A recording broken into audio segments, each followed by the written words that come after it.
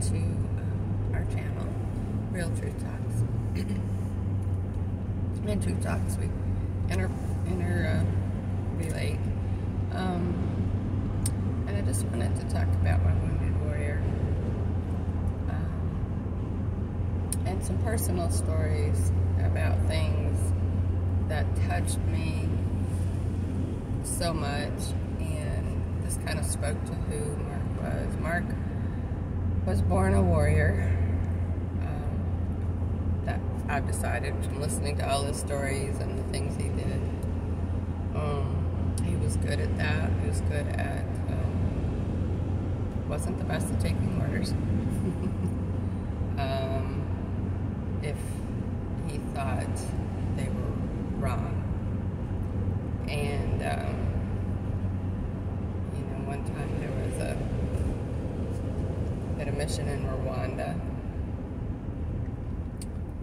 and um, he was in charge of the load.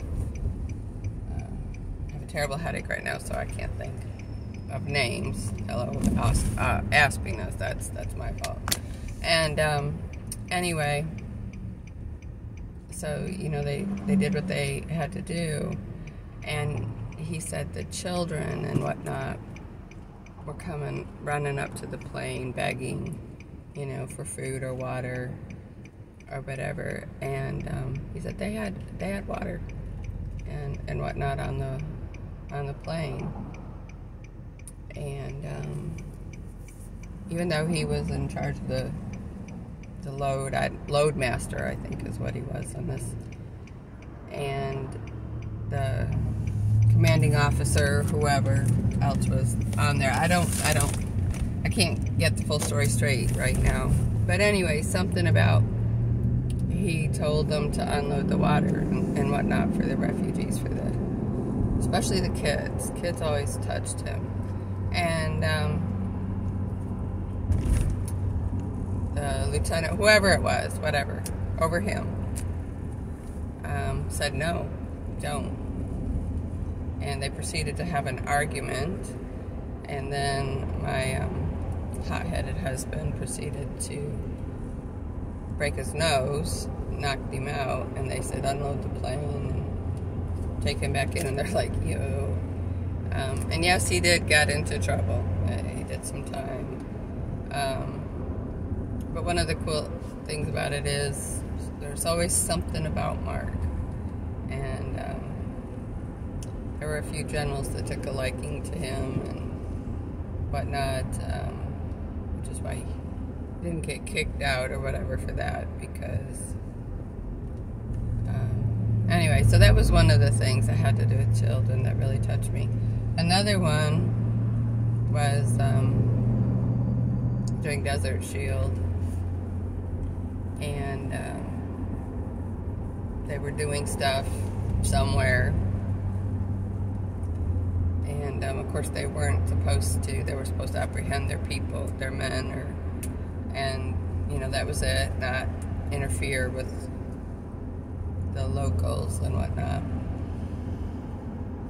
But apparently, um, there was a revenge fire retribution for it was a friendly village. Uh, they had been kind to and helped them, and so there was a fire, and when they came up on it, of course, you know, they were told not to get involved. But Mark heard crying and screaming children, and so he did his hothead, impulsive, I'm going to save the kids thing. Um, some he did and some he didn't. Um, he has very fine scars across his chest, um, an upper part of his stomach from from some burns and whatnot.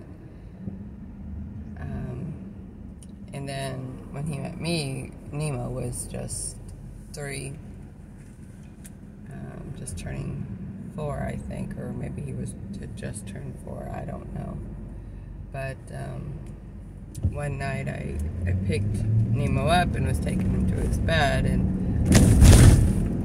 they're dark, um, you know, cinnamon colored kids, and um, Mark lost it. Uh, he had a PTSD flashback and whatnot. That's kind of how I found out about the kids, the burning things, because it just reminded um, uh, Mark of, of, that incident. So um, I, I, just think that's great. Um, I loved that about Mark. He he didn't want to get out, but at the time he wanted to get out of the military. Um, a lot, I don't know. Was, that was just before me. A lot of um, things went into play on that, but um, you know, when he le- when he got out of active duty, he worked for the DoD, then the DOJ, so he was still in. Um, in 2013 was when um, he had to get out of working for the government. And um, then, you know, a little over a year later, he's diagnosed with stage 4 cancer. Um, and Mark did not assimilate into civilian life. Hated it. Hated it.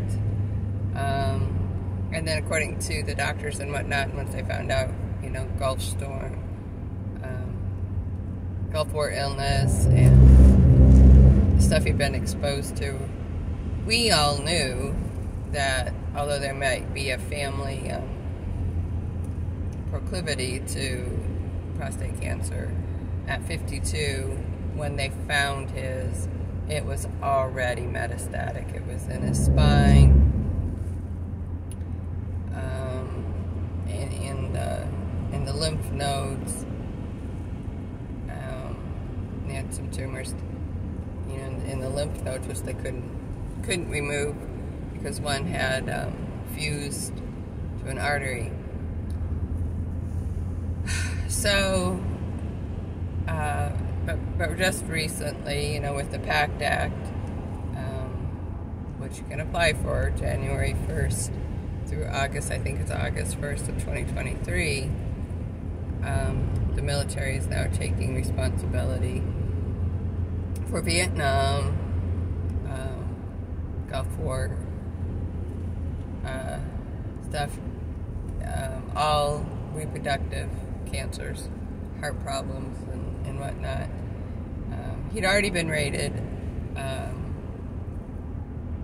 100% for, for much various different things uh, that had happened to him and that through um, through the government, right? So it's it wouldn't have netted him more any more money or anything like that. It's just, um, I wanted that for him to just make him feel better. Um, and there were a lot of, Mark had some upsetness about the things he'd done, and once he found out that these were not um, honorably motivated mis- uh, wars, felt used, he felt angry, but, um, and then there's some people that we listened to, he, just before he died, you know, they were talking about, well, you may ha- have been working for bad people for them, but your heart was right. You you were fighting for the Constitution and the people of the United States, what you thought to protect them. So, yeah, and this is all coming up on Memorial Day, and gone but not forgotten. And Mark's death was directly related to uh, his his service uh, conditions he'd gotten there. Um, and yes, he would have done it again um, if he had to do. If he were here and, and you were to ask him, would you do it again? And he would say yes. Um, maybe just done things differently, you know. But he loved the Constitution and he loved the flag what what it stood for. Um, he loved the idea of our country and to protect her. Um, so anyway, I just those are a couple things that I just thought the world should know. Um, so we'll talk later.